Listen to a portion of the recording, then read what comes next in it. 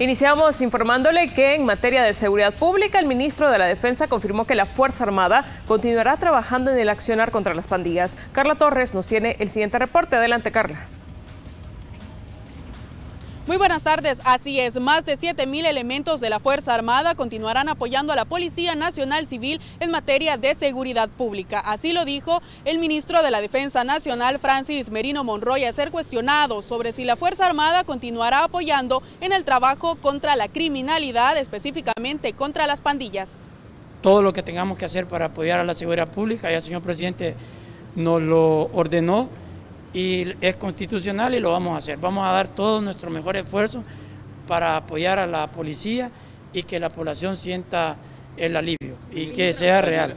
También se desligó de una posible tregua entre pandillas como ocurrió en gobiernos anteriores. Lo que como ministro de la Defensa me corresponde es darle el apoyo a la Policía Nacional Civil, al Ministerio de Seguridad Pública, en el combate contra las pandillas. El señor presidente ha sido contundente, nos ha dicho en qué área de, seguridad pública nosotros vamos a colaborar y eso es lo que vamos a hacer.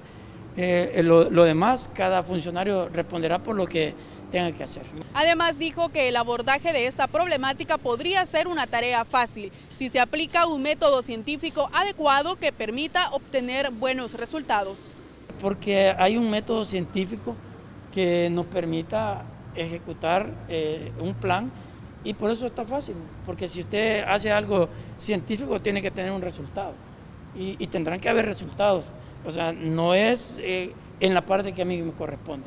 Eh, lo que le corresponde a otras instituciones, cada quien que explique cómo lo hace, pero en la parte que nos corresponde a nosotros fácil el apoyo que le vamos a dar a la seguridad pública, es fácil. Ese es mi reporte, Angie, amigos televidentes, más detalles en nuestra emisión de las 8 de la noche. Feliz tarde.